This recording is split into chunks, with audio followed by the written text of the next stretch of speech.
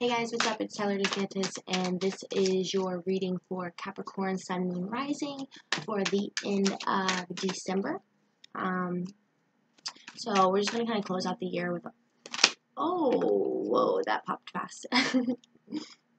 um, okay, so first, the first card that's like over here, victory. So the you're finishing something up. It's been a long motherfucking battle, but love is in the motherfucking air for you. Okay?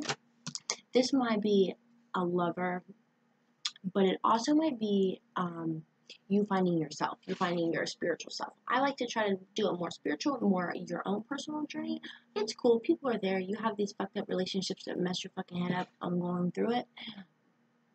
But just know this is a fucking celebration for you. You've been through the rough patch, but victory is motherfucking yours. You got the Queen of Pentacles, okay? And she, um, she's like creature comforts, enjoying her um, fruits of her labor. She's sitting in her uh, garden chilling, like she's good.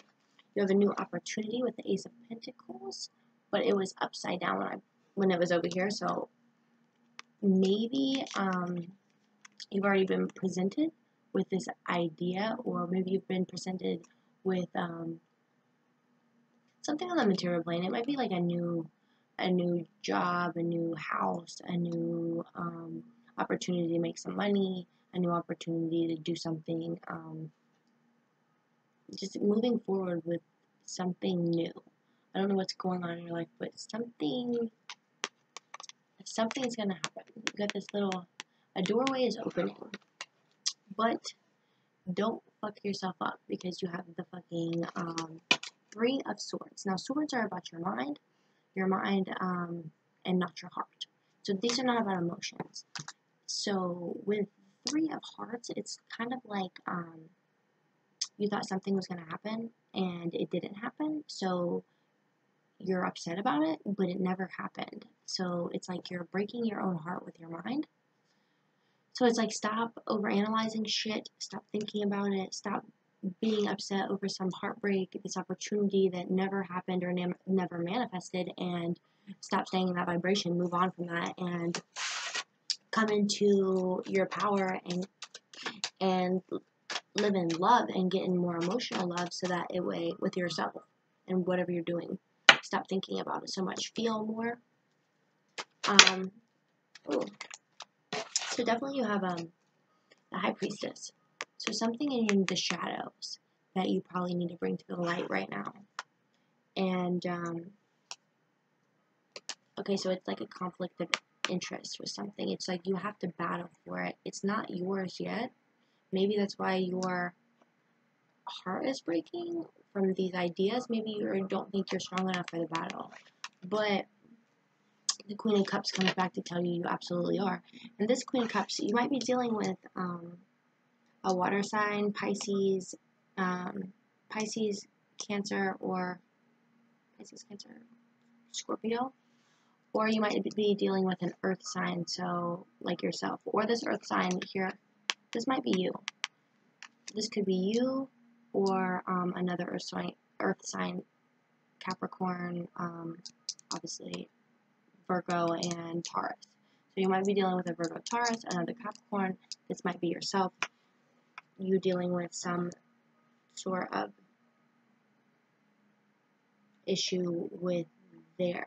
I don't know if it's necessarily an issue, but it kind of, to me, it looks like, so both these bitches have some shit in their hand. One has like this little, I think it's like, I don't even know what it is. It's like two little archangels on this weird thingy. I think it's called the Ark of the Covenant. But she's staring at that, and then the other one is staring at just this one little circle um, and this pentacle. But she, over here, this Queen of Pentacles, has the Ace of Pentacles beside her. So it looks like she has this idea around her. So this might be a beginning of a start of something that you had, an idea that you had. And maybe you're battling with this deeper shadow or this idea of something with this um, with this water sign or this woman in your life.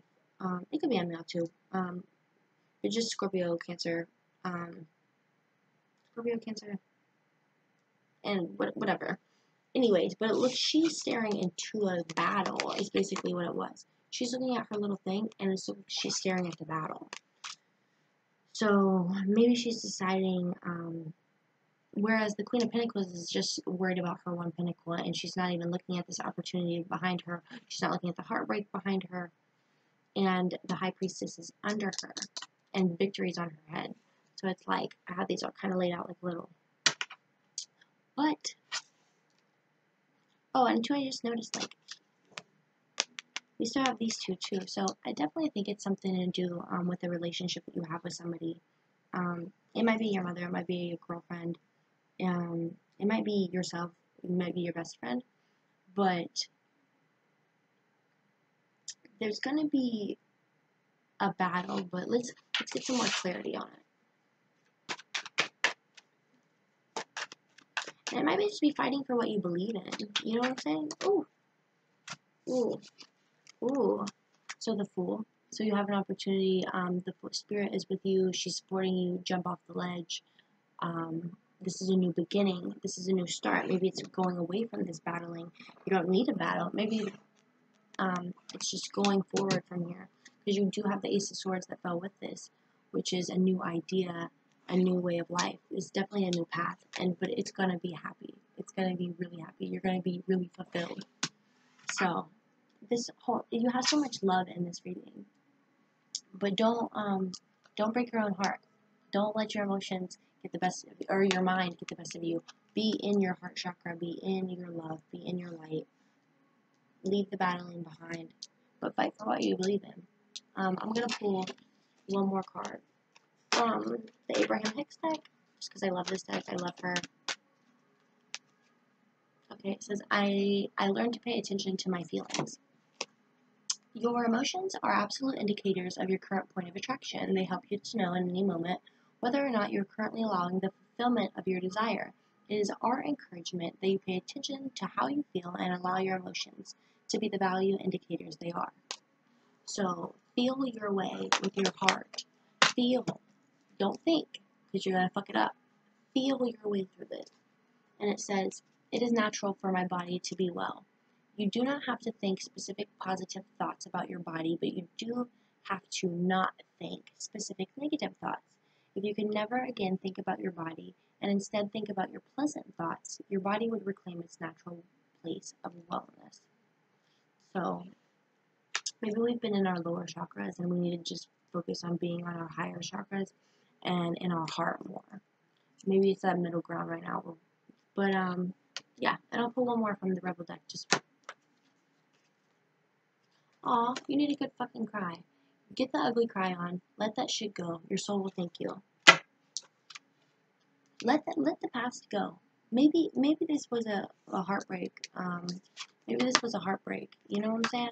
maybe you had your heart broken, but you're to charge on in victory because that's what Capricorns do. Y'all, it's the goat. Y'all see shit through. So, um, but let the battle go because this is a new opportunity. It's a new beginning. Cry that shit out. Let that shit go and move on from there. Pay attention to your feelings. If it feels like shit, don't do it. If it feels good, do it. do whatever you feel is doing. Just follow your heart. That's all I can really tell you. And, um, have a beautiful rest of your 2018. I'll see you guys in 2019.